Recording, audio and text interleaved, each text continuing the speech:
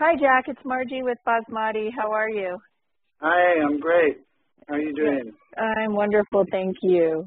Today we're talking with Jack from findingtruemagic.com, and he is a certified hypnotherapist um, and teacher, practitioner, and going to share his story with us um, and and how he came to do what he's doing. Um, so let's go for it, Jack. Okay.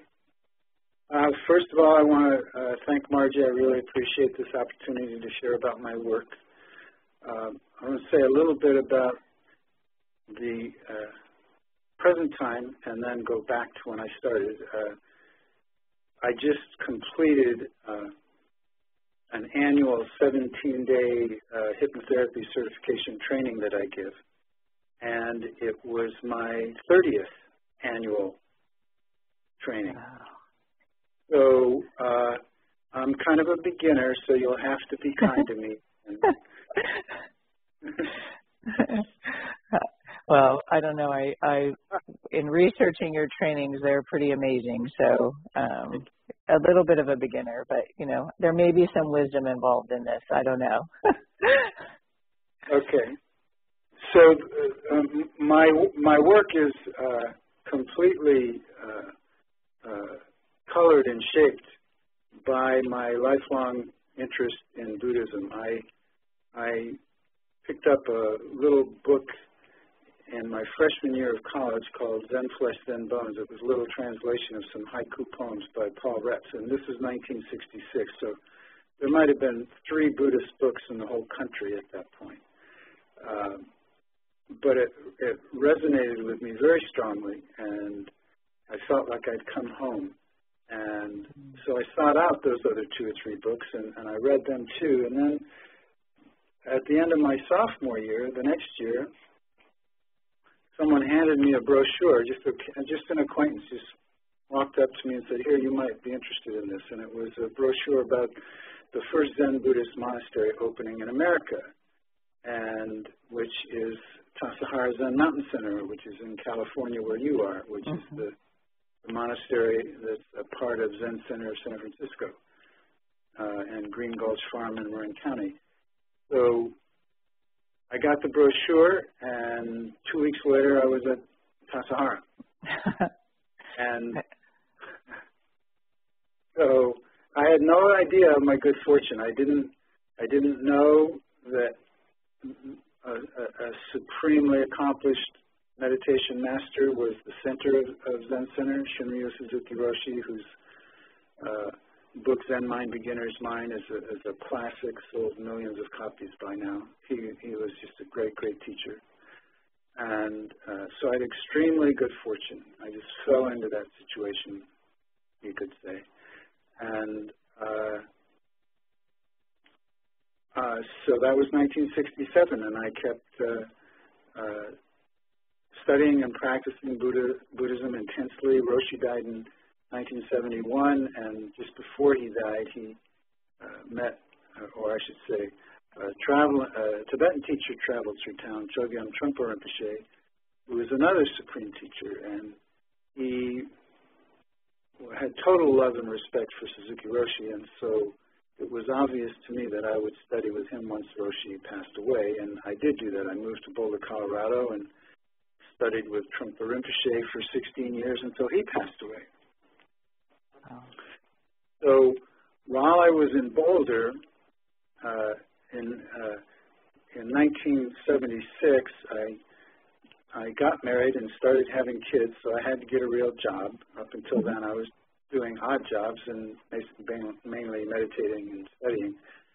And so I got a job in sales, various kinds of sales, and I always felt like I had something uh, to offer people, and I was helping people, and but I always had this feeling like the product was in the way. And uh, in 1980, I took a, an NLP training, and I was probably the only one in the course that wasn't a psychologist, and they were all being blown away by what was being taught. But for me, it was very familiar, and it was like little bits and pieces of Buddhist teachings that I had been studying in a much more comprehensive way. So two things happened for me. One, I no longer felt any kind of regret that I dropped out of college to enter a Buddhist monastery because looking around at these psychologists, I thought, well, if they weren't teach- teaching you this stuff in college, what were they teaching you? So mm-hmm. my illusion that I had missed something, not completing my college education, evaporated. And secondly, I saw that these Western teachings were a, a great way to filter through the, the more comprehensive Buddhist teachings to Westerners without it seeming, seeming foreign to them.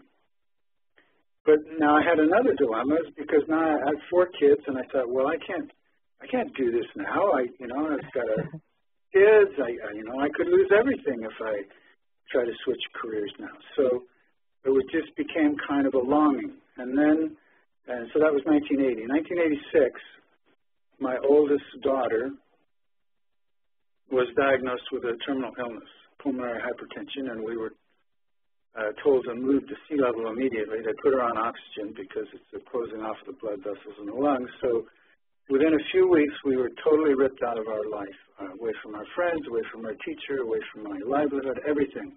Just boom. We ended up on uh, deciding to live on Orcas Island.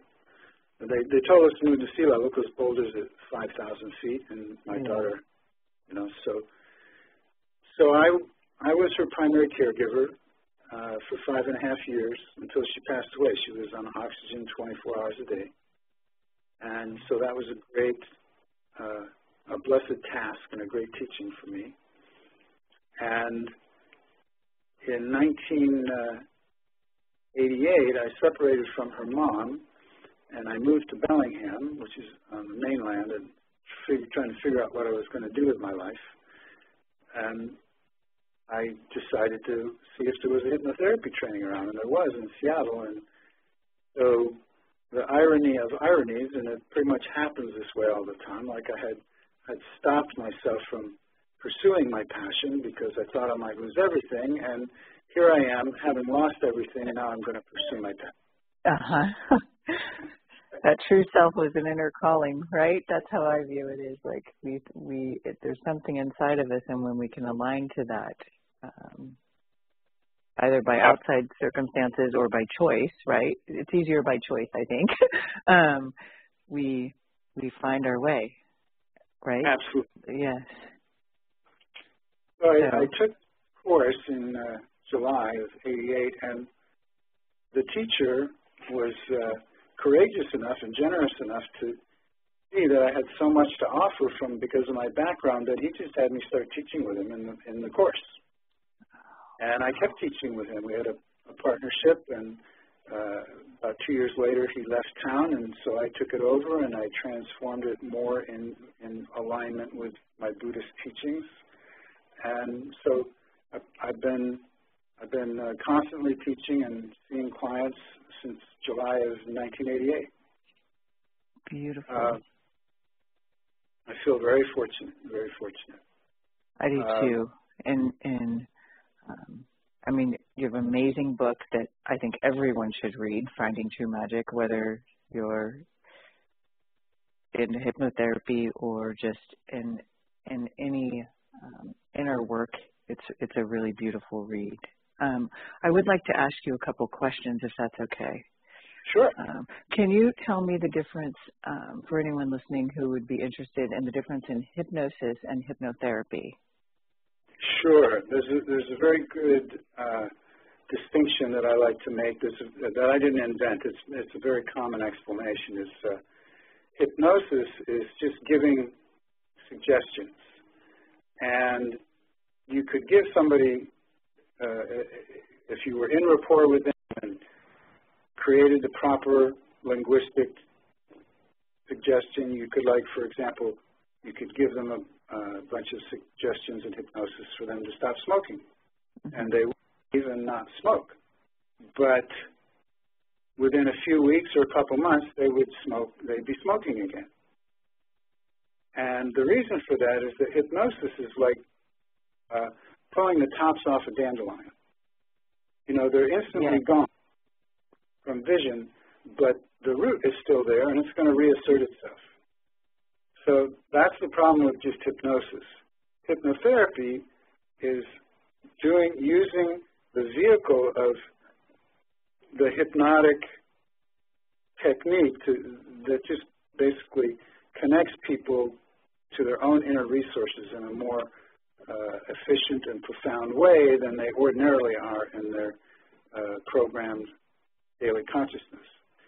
So using the hypnosis to connect people to that deeper ability to reorganize things, plus introducing therapy to get rid of the root of the problem, then it doesn't recur. Got it. That's the difference between just simple hypnosis and hypnotherapy. You bring in the therapy, taking advantage of the healing power that's opened up by using the hypnotic process to quickly and, and pretty much painlessly get rid of the, the root of the problem, and then it won't come back. Nice. Um, I, I have a lot of thoughts on that um, that I could, I'll elaborate with you um, later, but um, can we get into some of the um, myths and archetypes? Um, sure. Okay. Sure. Perfect. Tell me a little bit about that. Okay. Uh, to my mind, the most important thing to understand about archetypes, because uh, the, there's archetypes are presented in, in myriads of symbolic ways, and people can kind of lose their way getting uh, inappropriately fascinated with the richness of the metaphors and lose sight of uh, what, to my mind, is most important, which is that the concept of archetype is recognizing universal patterns, universal function, and universal essence. So the concept archetype is pointing at the living substance of the phenomenal world, which includes our being and our consciousness. And, and when you recognize that there are these universal patterns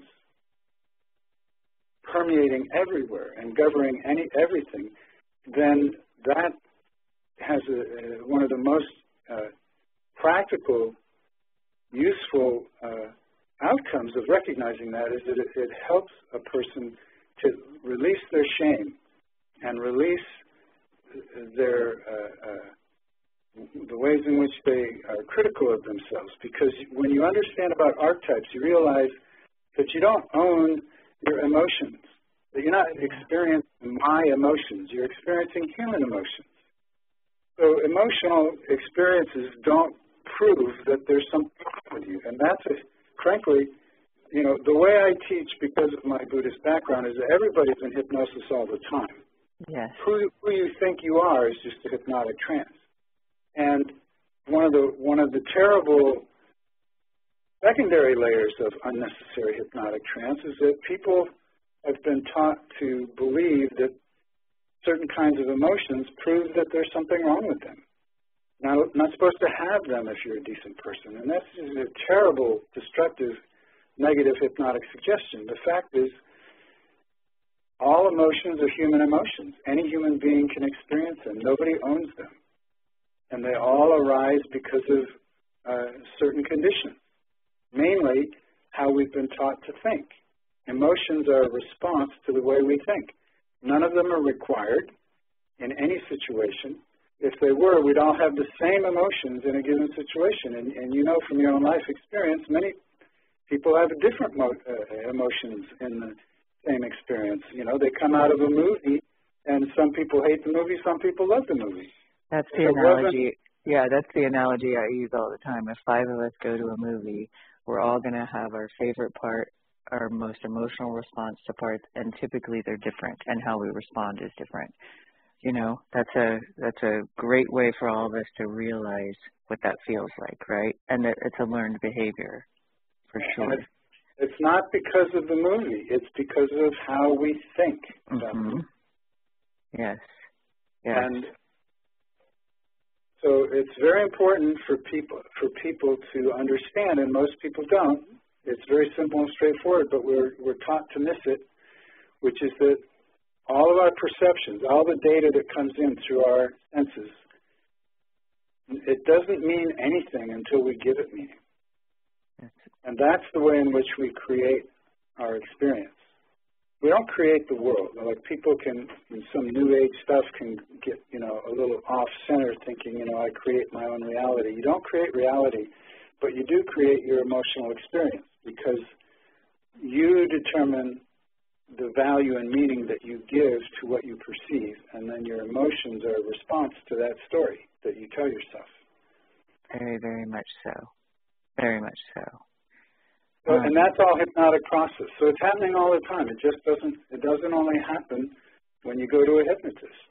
Most hypnotherapists don't understand that. You know, hypno, a lot of hypnotherapy courses uh, go into great lengths to talk about hypnotizability, and some people can be, and some people can't, and testing for it and everything like that. I, I don't teach any of that to my students. Instead, I get them to recognize that ordinary, everyday consciousness and uh, your subconscious gossip, it's just one hypnotic suggestion after another, quite literally. You know, I love it's um, this. It brings it back to where I wanted to go back a little bit earlier, but the waking up in your true self, and yeah. and that's what this is really about. Um, and um, I I love that you bring. That's really what this is all about: is breaking our hypnotic state, right? And and really waking up, which is kind of funny, right? Since you're uh, hip, do hypnotherapy, but it's so true. It's so true. Um, let's let's touch on a little bit on inner guidance. Okay. Um, um, well, let me just say, first of all, Buddhism is not a religion in the sense that it's not based upon belief. It's more uh, a science of mind, which uh, is based upon uh, study and observation uh, of life and of how the mind works. So the Buddhism, Buddhist meditators have studied how the mind functions to uh, incredible depth and subtlety. So, uh, uh, and pass that on. Those are the teachings of Buddhism: how to get free of the hypnotizing, deluding power of the thinking mind. And so, one of the main problems of the thinking mind is that we solidify beliefs. We solidify beliefs about all kinds of things, and certainly you know, throughout human history, people have been horrific to each other based on having different beliefs about God, and that's happening still right today. Uh, and also different political beliefs. It's just nasty, terrible stuff happening all the time. And all of that is just hypnotic suggestion. So, in terms of inner guidance, what I emphasize to people, uh, whatever technique that we're doing, is that belief is not required. But you don't have to believe that there are inner guides. Like some people might say, well, what if I think it's just my intuition? And another person might say, well, I think it is a spiritual being. I say, you know, it, you can believe however you want to believe. The main thing is let's just do the process and see what beneficial results we get because that's not based on belief, that's based on the relationship. Yes. So it's fine with me if people believe in inner guide. It's fine with me if they don't. I say, well, let's just do it as a metaphor and see if something useful comes because you know that you've had vivid dreams that you would even say are transformative or gave you some powerful insight into life, and it was just a dream. Yes. So just because it's a dream doesn't mean it's not useful or important. So if you want to consider it just uh, hypnotic dreaming, we can do that. Yes, that's that's even breaking free of even more beliefs, right? Right? Yes. Getting through yeah. the getting through those layers of that. Yeah, because um, beliefs limit us. They yes. limit our ability to experience the depth of our functionality and the depth of our consciousness. Um, let's if you're let's I'd like to chat a little bit about spirit release um, because I found that really fascinating that you go into that a little bit um, or yeah. Oh sure. but, okay. So the, uh, when I talk about uh, entity releasing or spirit releasing it's specifically uh, a human being who's died and they're not realized they're dead or unwilling to uh, acknowledge their condition. And so, in one way or another, they find someone to latch onto with varying degrees of strength. It can be relatively just annoying, or it can be so powerful that they like really take over the person's body and, and run the show. So it's all different, varying degrees. Yeah. But uh, and then the releasing part is this.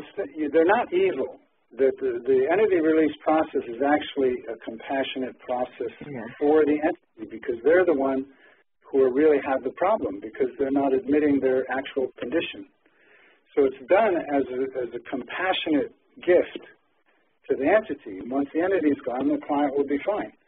Yeah. Um, and, and it's very simple. It's basically you encourage them to uh, recognize that they're dead, which you can do in various ways, and, and you encourage them to go into the light. And the typical uh, obstacle that may have been in their way is uh, fear of being sent to hell. So you yeah.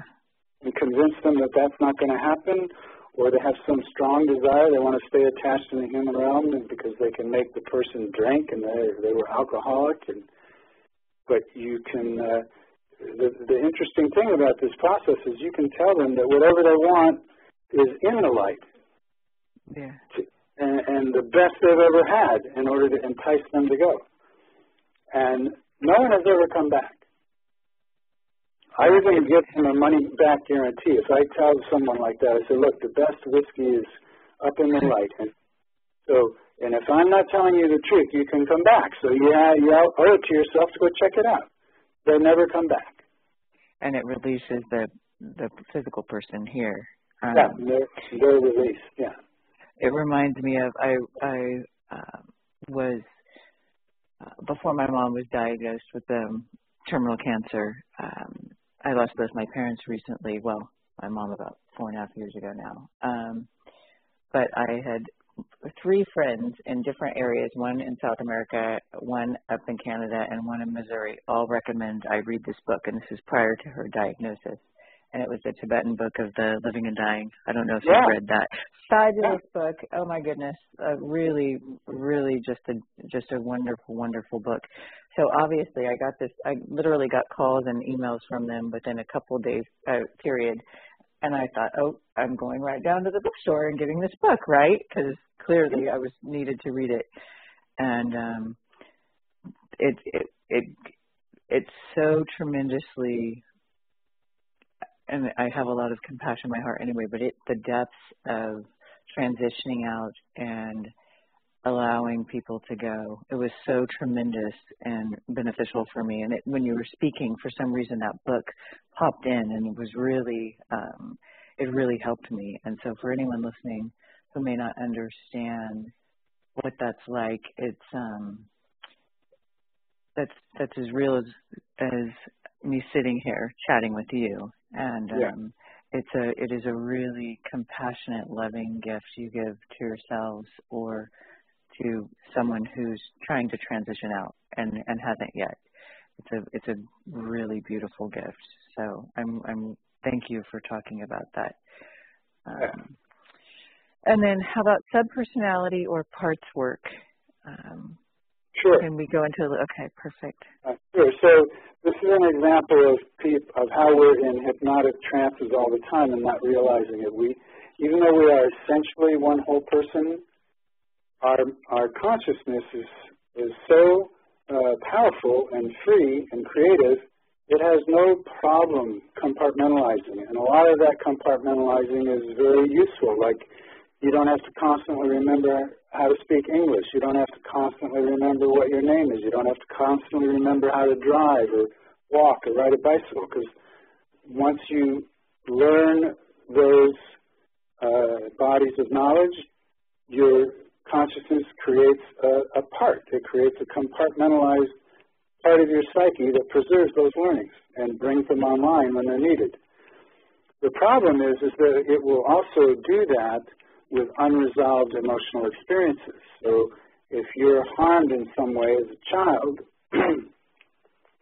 your, your mind will create like a little encapsulated virtual reality theater, and you will part part of your psyche will be in a hypnotic state in that little theater as the little four-year-old, let's say, that you used to be, and it will constantly be reliving that experience.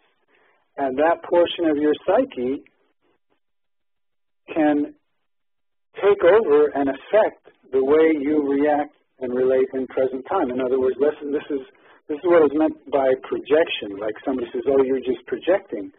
When you're projecting uh, on danger onto a situation that's harmless in present time, it's because something about the present time situation is similar enough to the child situation that that part of your psyche takes over and says, suddenly you're four years old and this thing is happening again, and so here other people looking at you see uh, seemingly an adult person freaking out in a basically benign situation and they wonder what's going on. Well, that's what's going on. These mm-hmm. personalities can inappropriately take over and run their program, which is based on unresolved past issues, projecting them onto present time. And we are all day long in our ordinary course of living, we're going in and out of subpersonalities constantly. We're just not aware of it. I mean, it's a lot of the times it's benign. Like you might be waiting to check out in the grocery store, and you know they have the those last little racks while you're yeah. waiting to get you, you know. And so you're standing there. Part of me wants M and M's, and part of me wants a Snickers. That's an example of two subpersonalities trying to negotiate and figure out who's going to get their way. So we're very familiar with it. No one once I give people this little bit of explanation, no one ever has a problem with it in therapy. They go, "Oh yeah, sure." Absolutely, you know? yeah. There's so something... it, because because we're functioning in that way, it's very useful to use that metaphor. So that someone comes in with a problem, instead of simply relating the problem, you say, "Well, let's," you know, it's a recurring problem. That means it's a learning. That means there's a part of you that knows how to keep it alive and keep it going. So let's talk to that part of you and find out what it's trying to accomplish by making you have this problem. And in that way, we make friends with that part and we wake it up that it's using obsolete, childish strategies because when you were a child, that's when you formed the strategies that have been locked in place. So once you wake up that part and it realizes it's in present time and it can be an adult now and it doesn't have to rely on those uh, paltry resources of the child, then it very quickly will release the problem and integrate into being an adult. Yes, uh, beautiful. Um, let me. Can I? I. So, if someone wants to work with you, um, can can you work remotely? I yeah, I work with people all over the world by by phone and by Skype. Okay, and so you do private sessions. And what if someone's interested in training with you? And how? So do they have to go? I know you just finished that program, which I um, was so interested in, um, and that was an on-site training. Um, right. But you, I, do, you, I, I typically now do uh, two live trainings a year. I used to do four. Uh, but I do two live trainings for certification, and I do some traveling to present seminars in other places, like I'm going to London uh, to do a four-day seminar at the end of September. Um, I just was in LA giving a one-day thing, and but in, in terms of training with me, you can come for live trainings, or I have a fantastic distance learning program that includes personal interaction with me. So it's not like you get a, a box of DVDs. Yeah. you, you know, and, and you don't even need to get CDs and videos anymore. The whole thing's online. But it does include tutorials with me. So it's a very powerful course. It's a very transformative, powerful course. People can, you can read the testimonials about my trainings at my website, findingtruemagic.com. Beautiful. And so if someone wants to book a private session with you, they can also go to the website and they can go to the website they email me from the website, but if they're listening, they can just email me directly at jack at findingtruemagic.com. Okay, perfect. Perfect. Well, again, I'm I'm going to suggest anyone listening um, not only reach out but but get the book Finding True Magic. It's it's unbelievable and amazing, and um, I'm I'm very grateful for you taking the time to chat with us today, and um, thank you for raising the consciousness um, of everyone you speak with. Um, that all pushes out to the world. You know that there's that ripple effect. So um, it's a beautiful gift you're sharing um, with thank all of you. us.